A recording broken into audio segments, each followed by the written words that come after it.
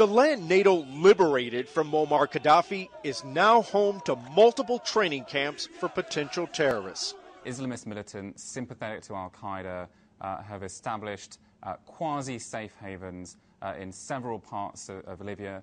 Benghazi, where Americans were targeted and four killed, is just one of the strongholds, but the camps are spread throughout the country. Libyan officials tell CNN terrorism analyst Paul Cruickshank. Amongst their number are, are people with direct connections to Al Qaeda Central. Libyan officials acknowledge at least three training camps south of Sabha in the desert near the Algerian border. Libya is a lesson in what the international community can achieve. President Obama called the limited operation in Libya a recipe for the future. Not a single U.S. troop was on the ground. But that light footprint left room for others to step in.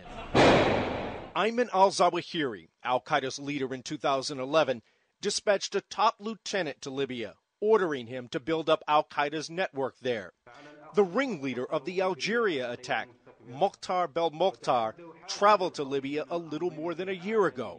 And he met with the commandant of one of these camps in southern Libya during this time. But Algeria may only be the latest link in a chain that leads back to Libya. In nearby Mali, the U.S. is now aiding France's fight to smash Al Qaeda. But militants are armed to the teeth and fighting back against French troops.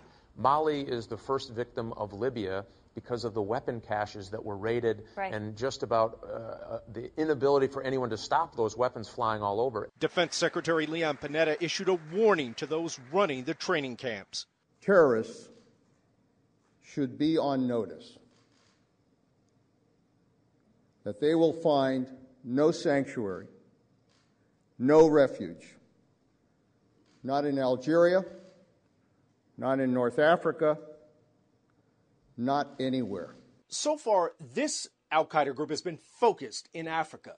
But counterterrorism officials are concerned that if these training camps continue to flourish, their ambitions may expand. Libya is right on the southern shore of the Mediterranean, and they're concerned militants could try for an attack in Europe, or European militants could come to Libya, get training, and then go back home to try and carry out an attack. Chris Lawrence, CNN, The Pentagon.